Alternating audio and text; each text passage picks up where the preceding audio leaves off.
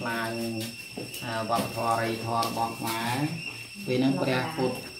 តំណាងឲ្យសាសនាបកោនីគុំណូពលសាន់ត្រូវបានគេបំផ្លាញដូចរូបនឹងវាដើមណាណាហើយកោតដាក់ធាតមកយើងហៅចែកដីហ្នឹងក៏คล้ายទៅជាលឹងសូតាមពួកអាណានិគមបារាំងហើយខ្ញុំក៏មានភ័ស្តុតាងច្រើនដែរដែលបានបង្ហោះទៅតិចថា រូបភាពបែបហ្នឹងមិនមែនជាលឹងសូទេបាទអញ្ចឹងយើងមើលអ្នកអស់នេះមើលគឺថាក្រោយពេលដែលអាណានិគមបានត្រួតត្រាលើទឹកដីខ្មែរយើងយួនហើយនឹងសៀមមានឱកាសហើយក៏បំផ្លាញរូបបេតិកភណ្ឌជារបស់ខ្មែរស្ទើរតែបាត់បង់ហើយទើបតែខ្ញុំចេញមកនិយាយទេទើបបានដឹងថា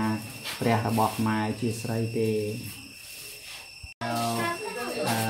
ជាតំណែង បាទរបស់មេដាចឹងនៅក្នុងខ្ញុំចង់និយាយបន្តិចឲ្យយើងយល់ថានៅក្នុងផ្លូវសាសនាពុទ្ធគេមានបែងចែកជា3ទី1គឺការធ្វើបាសនាឈានត្រោម្ដាយរបស់យើងតើជាតិទី1ម្ដាយយើងជាណាទី2ជាម្ដាយណាហើយចំណុចទី2គឺគេធ្វើបាសនាទៅដល់ជាដំណាក់ពុទ្ធហើយបានដល់ទី3ហ្នឹង គេធ្វើបាសនាឈានទៅរកកំណើតខ្លួនឯងនៃកាលប្រមាណជាតិជាទី1កើតអីជាទី2កើតអីចឹងណាណាអញ្ចឹងនៅក្នុងសម័យកាលពីបុរាណហ្នឹងយើងមានម្ដាយហ្នឹង9 9ជាតិមានម្ដាយខុសៗគ្នា កម្រមានបុគ្គលណាមួយអូរូបស្រីស្រីដែលនៅខាងក្រោមហ្នឹងគឺម្ដាយរបស់យើងប្រហែលជាតិអីចឹងចឹង9ជាតិហើយបានកើតមកយើងវិញហ្នឹងហើយហើយជាធំឬរូបហ្នឹងជាផោះតាងស្រាប់ហើយនេះគេហៅរូបព្រះមេត្រីមិនលឹងឥសូព្រះមេត្រីហ្នឹងគេស្រី3នាក់ដែលយើងឃើញនៅប្រាសាទបាយ័នណា ហើយរហូតពេលយកដាក់កន្លែងហ្នឹងទៅគេមានដងទឹកមកលាងជើងឲ្យហើយបានទឹកហ្នឹងហូរទៅវាត្រង់ទឹកហ្នឹងដើម្បីធ្វើពិធីសម្រាប់ឲ្យមានស្រីនឹងគោជ័យហើយពាក្យសេរីហ្នឹងក៏នៅដល់សប្តាហ៍ដែរខ្មែរនៅតែប្រើថាសេរីសេរីហ្នឹងមកពីស្រីសេរីមង្គលអាស្រីមង្គលហ្នឹងវាបាធំហ្នឹងញ៉េអញ្ចឹងមានន័យថាខ្មែរយើងតើយើងសិក្សាអសរបុរាណ ឬក៏អសរបល័យរបស់យើងបានយើងដឹងថាមករហូតដល់បច្ចុប្បន្នអសរជាយានសម្រាប់ដឹកនាំប្រទេសជាតិរបស់ខ្មែរគឺយកស្ត្រីជាធំសំខាន់គឺព្រះមេត្រីនឹងហើយអឺប្រព័ន្ធនៅភូមិជាសាសនាព្រះអង្គបានបញ្ជាក់អំពីអឺស្ត្រីខ្មែរក្នុងសម័យនោះបាន ពាក់ព័ន្ធជាមួយខាងពុទ្ធសាសនាក៏ពាក់ព័ន្ធពាក់ព័ន្ធជាមួយព្រហ្មញ្ញសាសនាក៏ពាក់ព័ន្ធនេះយើងមើលឃើញប្រនាងសុខចិត្តលះបង់អឺមកយកគ្រួសារខាងព្រហ្មញ្ញសាសនាខាងនេះបានយកគ្រួសារខាងពុទ្ធសាសនាអញ្ចឹងពីហ្នឹងព្រះអង្គដឹងថាអ្នកដែលបានលះបង់យកគ្រួសារជាព្រហ្មញ្ញសាសនាហ្នឹងគាត់ពិបាកណាស់ ដោយសារពួកបុរសខាងព្រហ្មញ្ញហ្នឹងចូលចិត្តតែធ្វើអំពើហិង្សាអញ្ចឹងចឹងនៅក្នុងក៏គេឆ្លាក់ប្រាប់យើងថាពនាងទាំងអស់អឺបើអ្នកណាមានសំណាងបានជួបអឺខាងព្រហ្មញ្ញសាសនាហើយអ្នកនឹងលំបាកអញ្ចឹងទៅខ្មែរនេះជាព្រំលិខិតហើយអ្នកណាគេបានជួបអ្នកខាងពុទ្ធសាសនាដូចគ្នាទៅក៏គេមានសំណាងទៅចាំបានខ្មែរយើងគេមានការនោះគេមានរូបចម្លាក់គេគេបរៀនយើង នោះទីនេះថតមើលហ្នឹងរូបចម្លាក់ហ្នឹងគេនិយាយអំពីផលសំណាងណាផលសំណាងរបស់មិនទេនេះអឺមានមានប្រមាណអ្នកជាខាងពុទ្ធសាសនាមានប្រមាណអ្នកជាព្រហ្មញ្ញសាសនាឃើញទេហើយចឹងពនាងហ្នឹងមិនដឹងថាជាណាមានសំណាក្រក់ឬល្អអាស្រ័យទៅលើទៅចាប់ចំកសែងប្រហុំរបស់គាត់ហ្នឹងហាអូហើយបើសិន ហើយអត់ប្រកែកទេណាអត់អាចប្រកែកបានទេតែគេចាប់ចំអ្នកណាអ្នកនឹងត្រូវតែទទួលរៀបការជាមួយចឹងមានកៃសាលាគេបន្តប្រហុំនៅខាងមុខចាទៀតចាគេតែយកចេញបាញ់ចឹងបានវាធ្លាក់ចុះទៅជ្រៅដែលយើងនៅប្រាសាទប្រកាយចេស្តាព្រះអង្គនៅទាំងអស់ហើយសប្ងៃហ្នឹងកន្លែងដាក់ធាតខ្មែរកន្លែងដាក់ឆ្អឹងរបស់ដូនតាមេដាបៃតារបស់ខ្មែរហ្នឹង អាប្រាំងសេះហ្នឹងថាលឹងអ៊ីសូហើយក៏លឹងអ៊ីសូទាំងអស់គ្នាទៅណាក្រៅពីខ្ញុំហ្នឹងគឺថាលឹងអ៊ីសូទាំងអស់ហើយហើយខ្ញុំប៉ុន្តែខ្ញុំមានកូនសិស្សច្រើនណាដែលគេជឿថាមិនមែនជាលឹងអ៊ីសូដែរថាជាដួងបលឹងព្រះ3000បាទនេះយើងមើលខាងណានេះក៏គេនិយាយអំពីសំណាងព្រំលិខិតនឹងដូចគ្នាដែរនេះការព្រះបាទសូរិយវង្សទី2ព្រះអង្គមានបុត្រ2នាក់ បុត្រច្បងជាបរោះហ្នឹងហៅអឺព្រះធរណន្ទ្រៈហើយបុត្រទី2ហ្នឹងហៅព្រះកាយចេស្តាហ្នឹងថាពនាងនេះទី2ហ្នឹងក៏មានសំណាងអញ្ចឹងណាហើយចាំនិយាយចឹងអញ្ចឹងអឺអឺ កាលណាយើងពង្រួមពង្រួមសាសនាព្រហ្មញ្ញនិងសាសនាព្រះពុទ្ធមកជាសាសនាតែមួយហ្នឹងក៏មិនមែនមានផលល្អទាំងអស់ដែរធ្វើឲ្យស្ត្រីអ្នកដែលជាភេទទុនខ្សោយហើយជាស្ត្រី ជាទីគោរពបូជារបស់ខ្មែរនោះក៏មានបញ្ហាដែរចឹងចឹងនិយាយអំពីព្រះពីស្នុកាដែរឡើយហ្នឹងគេនិយាយអំពីជាងសាងសង់ប្រាសាទហ្នឹង ហើយគាត់មកធ្វើគ្រូរបស់បរោះទាំងអស់ហ្នឹងដើម្បីបង្រៀនឲ្យធ្វើប្រាសាទដល់ផ្នែកខាងនោះផ្នែកខាងនោះវានៅសល់ពណ៌តាងជាច្រើនដែលរបៀបរៀបថ្មរបៀបរៀបថ្មយ៉ាងម៉េចហើយបានគេជ្រៀកថ្មហ្នឹង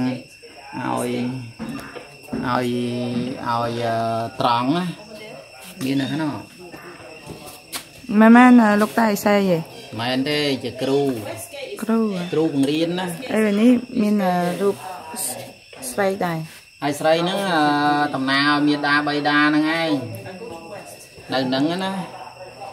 Where you from? I'm from East. So China? ចុះតែមានពុកមាត់បាទ They ask to eat but they go to west. Yeah, the the bike, the mobile. អ្នកចូលមកគឺបានយកមកទុកខាងក្រៅហើយបើតាមខ្ញុំដឹងទីជុំទីជុំនៅត្រង់កន្លែងប្រាសាទបារឡៃថាជាចាថាជាចាដី ប៉ុន្តែអត់ទេប្រាសាទព្រះខាងនេះសាងមុន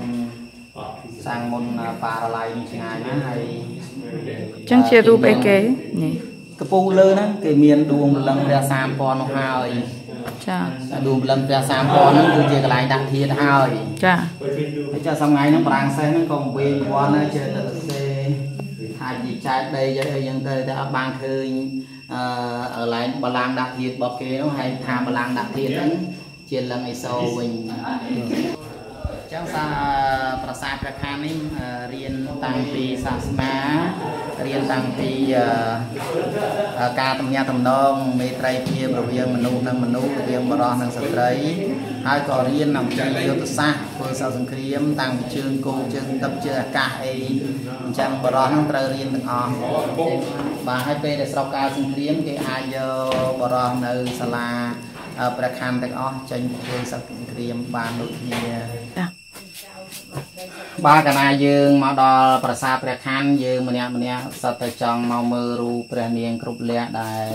ក្នុងពុទ្ធទំនាយរបស់ព្រះបាទភរិយនន្ទ្រៈយើងហៅថាព្រះសេរីអាមេត្រីនឹងថានឹងយាងចេញមកដើម្បីត្រាស់ដឹងជាអ្នកទី3នៅក្នុងសាសនាបកោនិគមនោហើយសពថ្ងៃនេះអ្នកខ្លះក៏ហៅគាន់ច្រឡំថាអន្តរទេវីអីអញ្ចឹងណា ប៉ុន្តែបើតាមខ្ញុំដឹង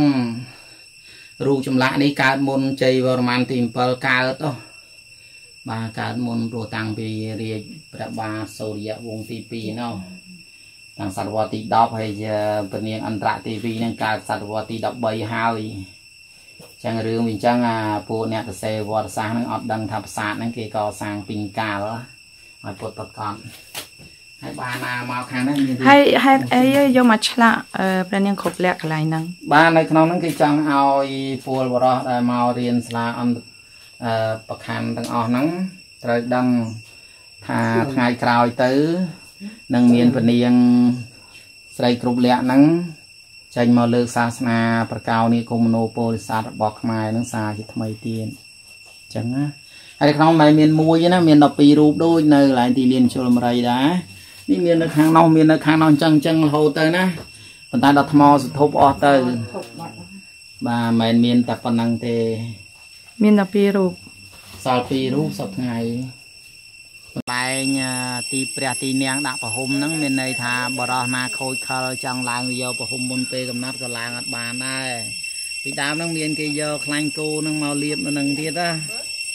ខ្លាញ់គោហ្នឹងលាបឲ្យល្អិល កុំឲ្យគេអឺឡើងបានឡើងលួចយកបានហើយពេលដែល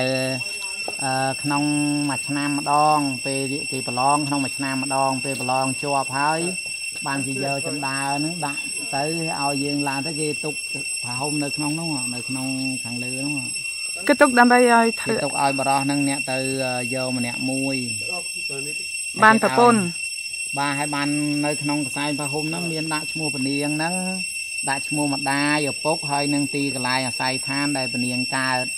ពេលហ្នឹងទៅបានបរោះហ្នឹងក៏យកប្រហុំហ្នឹងទៅទៅដល់ភូមិស្រុករបស់ខាងស្រីហ្នឹងទៅក៏ឲ្យពុកម្ដាយទៅស្រីដណ្ដឹងទៅហើយដល់កន្លែងនេះគឺសម្រាប់ធ្វើបុណ្យណាពួកបរោះបរោះដែលនៅក្នុងរៀននៅហ្នឹងអត់មានបានទៅផ្ទះទេអញ្ចឹងមានន័យថាធ្វើបុណ្យដូចជាបុណ្យអឺភ្ជុំបុណ្យច្រត់ព្រះនឹងកលឬក៏បុណ្យអឺអកអំបុកសំពះព្រះខែអីត្រូវធ្វើនៅហ្នឹង ចឹងពីដើមប្រុសប្រុសខ្លះរៀន4ឆ្នាំហើយប្រឡត់ជាប់ឯណាអត់បានប្រពន្ធនៅនឹងទៅធម្មតារឿងរៀនវាបានហ្នឹងគេគេគេការពារកុំឲ្យយើងឡើងទៅលើរួចណានៅលើហ្នឹងគេដាក់ប្រហុំពនាងណាតែ ពីដើមមានក្តារមានជាងមានអីចិត្តហើយមានដបូលឯស្អាតបាតឥឡូវវារុះរើអស់ហើយតែដល់ពេលដាក់បាននេះអ៊ំយើងឡើងទៅយកឲ្យគេឡើងទៅយកម្នាក់មួយបាទណាគេដាក់ចណ្ដើរពេលដល់កំណត់គេដាក់ចណ្ដើរយើងឡើងទៅយកម្នាក់មួយគឺឡើងមិនបានអត់ទេអត់ទេដល់ពេលគេដោះចណ្ដើរចឹងគេហាមតែគេខ្លាចមានមនុស្សឡើងណាឡើងទៅយកក៏គេធ្វើឲ្យធំធំដើម្បីឲ្យល្អល់ហើយយើងឡើងរួចក៏ល្អល់បាទធំពេក ហើយនេះអឺកន្លែងគេឧមាថាអឺបរោះហ្នឹងត្រូវមានទោសត្រូវមានទោសគេឬក៏បរោះហ្នឹងរៀននៅហ្នឹងទៅក៏មានអបាតហេតុអីត្រូវស្លាប់គេបូជាសពហ្នឹងទុកនៅហ្នឹងហើយគេឧបកិច្ចថាអ្នកណាមួយក្បត់ឲ្យខ្មោចដែលដែលក្បត់ហ្នឹងសម្លាប់អញ្ចឹងចាំវិញបានគេហៅកាច់ណាអាលោកបាកាច់មេបាកាច់ណានេះគេហៅលោកបាកាច់ សម្ថ្ងៃហ្នឹងមានដែរណាអ្នកតាកាច់បាទនៅបកកែវិញណាឥឡូវចឹងបានអាប្រាសាទប្រខណ្ឌហ្នឹងគេមានធ្វើហើយមិនតូចទេនៅពាត់ជុំវិញបងធំណាមនុស្សរាប់ខ្សែនាក់មករៀននៅហ្នឹងណាប្រសាទប្រខាន់មកគេហៅប្រខណ្ឌអញ្ចឹងបានយើងឥឡូវហ្នឹងក៏មានពាក្យប្រខណ្ឌស្លាហ្នឹងដែរប្រខណ្ឌស្លាហ្នឹងគេសម្រាប់ឲ្យយើងកូនកំងកូនកន្លោះដាក់នៅលើដៃផ្ទឹមហ្នឹងហ្នឹងតាក់តទៅនឹងប្រវត្តិប្រាសាទព្រះខណ្ឌហ្នឹងណា បាទមិនធម្មតាទេណាហឹមតែយើងទៅមុខហ្នឹងបានយើងទៅខាងវត្តចោលអស់បាទហ្នឹងមិនហេតុផលហេតុផលថាលឹងសូវយល់ទេយល់បងនិយាយទេចាចាបើវាសិបានត់ណាជាវាមានហេតុផលទេឬក៏ការភ័ន្តច្រឡំមកអាដុំ4ជ្រុងដាក់ធានហ្នឹងវានៅហើយ ប៉ុន្តែបែរជាកន្លែងខ្លះដែលអាចកំបាំងដោយប្រសាទប្រកាយវាយកចេញអត់តាន់ណាពេលហ្នឹងក៏នៅជាផ្ោះកាងទៅតែកន្លែងនេះគឺច្បាស់លាស់ណាវាមានខែនការអឺកន្លះពីកន្លែងដាក់ធានទៅយីលឹងអ៊ីសូពូយកចេញទាំងអស់ហ្មងបាទអត់មានសល់មួយទេចាមួយនេះគឺទួចជាងអឺណាអាលើផ្សេងអាលើអត់មែនទៀតទេហ្នឹងព្រោះឲ្យតែដាក់អត់មែនមែន